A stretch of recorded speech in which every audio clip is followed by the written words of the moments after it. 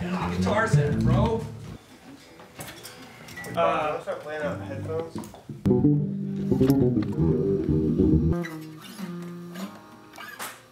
I'm ZZ Ward, and we're here at Fairfax Recordings. Uh, I got the band here today, and we're going to be um, laying down Blue Eyes Blind.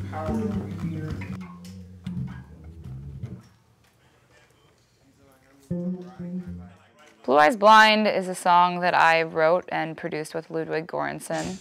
And um, he's, he's a great guy. He does a lot of uh, work with Childish Gambino. It's funny how the ones that kind of came through are just, they just worked out. I mean, it was the first time I ever worked with him. We just went in and came up with some chords. I had an idea and we just kind of ran with it. We just thought it'd be fun to kind of record them and, you know, let people hear songs that they love done a different way. I feel the moon hitting the blacktop just like a fuse, making the night so hot, forget the truth until tomorrow.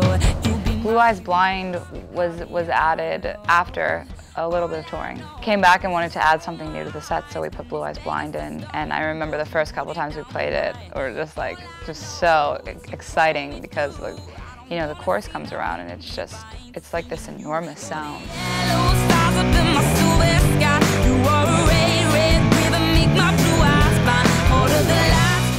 Ludwig tried this beat in the chorus, it's like a heavy hip hop beat, and uh, I was like, oh my gosh, sick, I love it. Make my blue eyes blind.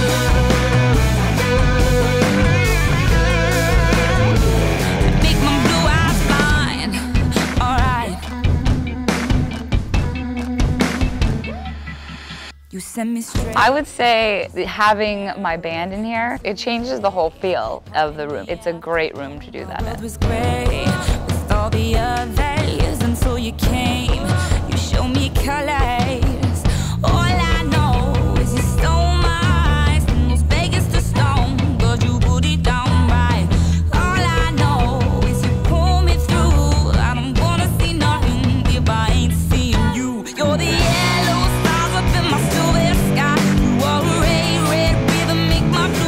This kind of vocal sample that's like, whoop! And I was like, oh, I love it. And he was like, you wouldn't do that, would you? And I'm like, yes, I definitely would do that.